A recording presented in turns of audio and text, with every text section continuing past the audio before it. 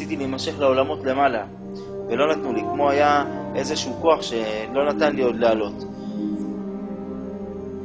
ואז כשהבנתי שאני לא יכול להישאר בעולם וחייב לרדת למטה, ביקשתי מהבן איש חי, מחכם יוסף חיים עליו השלום, זכות תגן עלינו ועל כל עם ישראל, ביקשתי ממנו שיקח אותי לרבי יונתן בן עוזיאל, שרגע לפני שאני יורד אני רוצה לראות את רבי יונתן בן עוזיאל. ואז הוא העלה אותי. המלאכים, לא היה להם רשות לעלות לעולם הזה של הצדיקים. זאת אומרת, צדיק הוא יותר ממלאך, הוא יותר מהכל. צדיק ש, שבשמיים, הוא, מלאכים אין להם רשות לעלות לשם, אין, לו, אין להם רשות. לא היה להם רשות לקחת אותי, עד כדי כך שלא היה להם את הכוח להעלות אותי למעלה. הוא עצמו לקח אותי, הבן איש חי לקח אותי, העלה אותי ממש בן רגע, ככה היה חשוך, וכבר עליתי למעלה, לעולם למעלה, העולם השלישי. העולם השלישי הוא עולם שכולו לבן, כל העולם כולו לבן, ממש כמו... עוד שלג זה עוד מה שנקרא שחור. ממש הכל לבן לבן, אין לתאר. ובכיוון הזה, כיוון מערב, ככה, כיוון הזה, היה היכל. היכל. מעל ההיכל היה קשת של אש. והוא מצביע שם, אני עומד כאן, והבן איש חי פה, הוא מצביע, אומר, אתה רואה שמה? שמה נמצא רבי יונתן בן עוזיאל. מהקדושה שהייתה שם, לא יכלתי, לא יכלתי להסתכל, לא, ניסיתי לספוג עוד קדושה, עוד רגע להיות עם הצדיק הזה, לראות את העולם הזה, ליהנות מהשכינה, מהמקום הזה, מהקדושה הזאת, ולא יכלתי, כמו... אפילו שיצאתי זכאי, לא היה לי את הזכויות להגיע לדרגה רוחנית כזו, לראות דבר כזה, לא, לא לי את הזכויות להיות בעולם כזה. כמו עשיתי תנועת יד ככה, ויכלתי כמו להישרף מהקדושה שהייתה שם.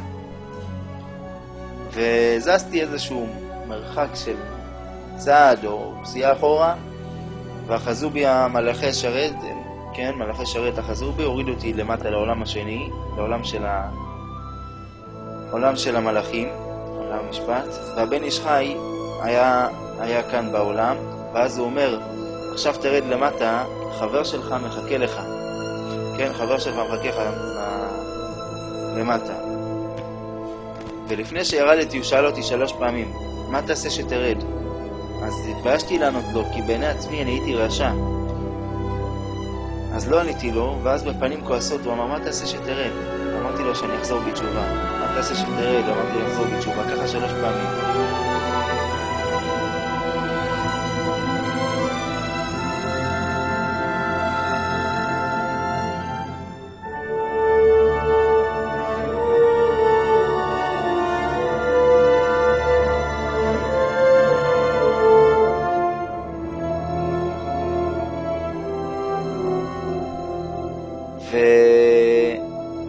ירדתי למטה בבית חולים, אני פותח את העיניים בבית חולים, אני רואה את הרופא דוקר אותי באגודל, ברגל שמאל באגודל שלי, וזזתי מהדקירה. אז הרופא, ככה, ניר, בפליאה כזה, ניר? אמרתי, כן, מה, מה הוא שמח? הוא ראה אותי בצהריים. אני בוודאות ידעתי שמטתי, בוודא... מאותו רגע שירדתי ידעתי שמטתי, ידעתי את המשפט, אבל לא ידעתי מה, מה, מה הוא מתלהב, זאת אומרת, לא, לא הבנתי את כל זה, לא יכלתי... לה... ואז הוא עזב אותי, ורץ לחבר שלי בנוירולוגיה בחוץ, אה, יש שם את הדלפק של האחיות, איפה שהן יושבות. הוא רץ, תפס את החבר שלי ככה מהיד, ורץ איתו אה, למיטה. הוא אומר לי, אתה מכיר אותו? אמרתי לו, כן, זה רונן, חבר שלי. החבר שלי היה לבן כמו סיד, לא, לא יכל להסתכל, ממש, כי מתתי לו בידיים, מתתי לו בידיים, כל הצעקות, כל מה שהיה, כל העיוותים, הכל, ככה היה בידיים שלו. הוא פחד ממני עד לא מזמן, רק uh, הוא יכל לדבר איתי לפני איזושהי תקופה לא, לא ארוכה. ואז ירדתי לעולם הזה, וניתנה לי הזדמנות לחזור בתשובה, אבל לא ידעתי איך. לא ידעתי איך לחזור בתשובה, לא ידעתי מה לעשות, איך לעשות. בעיני עצמי החזקתי את עצמי כל הזמן כרשע. בעיני עצמי אפילו שירדתי לעולם הייתי רשע.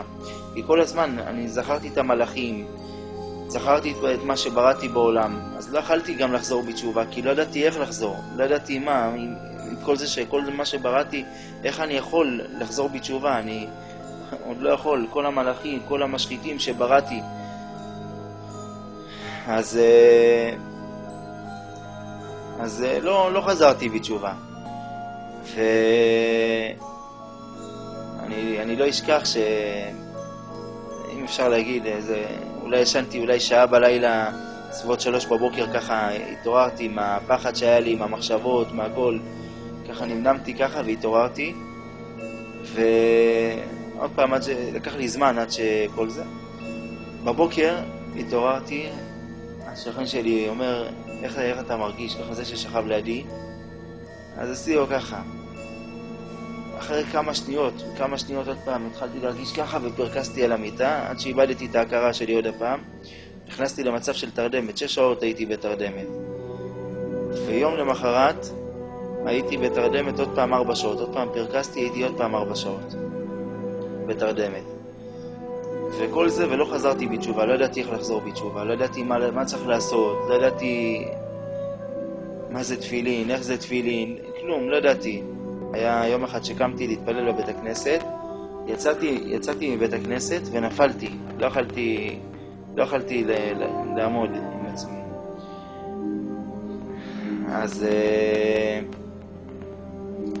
אז אה, הבטחתי בשמיים, הסתובבתי לכיוון ההיכל, אמרתי ריבונו של עולם, אני לא יודע איך ולא יודע מה, אבל אני מבטיח לך שאני אחזור בתשובה.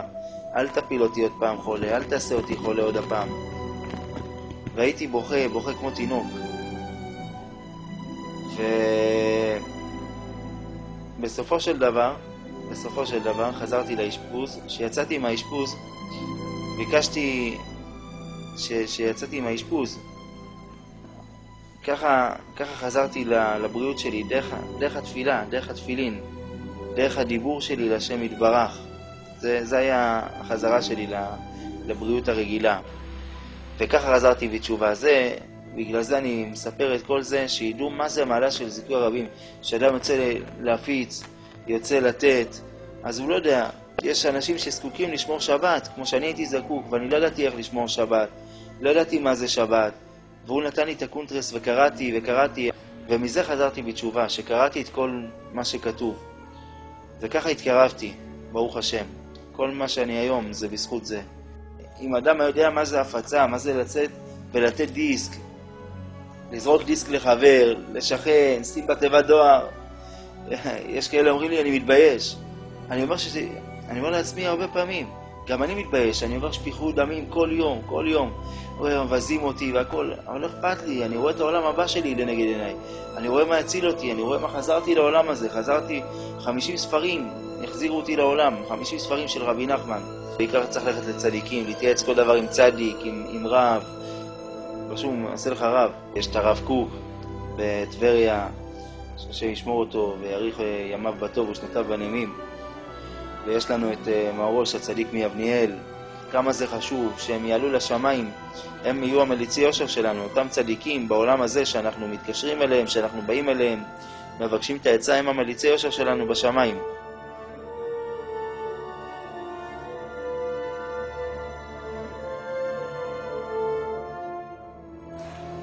אני אומר שלא מספיק להיות טוב, צריך להיות יותר טוב מטוב. והכי טוב זה לעבוד את השם יתברך, כי אין עוד מלבדו. בסך הכל זו המטרה שבאנו לעולם. כמו שאמר חכם בקהלת, שלמה המלך, החכם מכל אדם, סוף דבר הכל נשמע, ואת האלוהים יראה, ואת מצוותיו שמור, כי זה כל האדם. תהילת אדוני ידבר פי.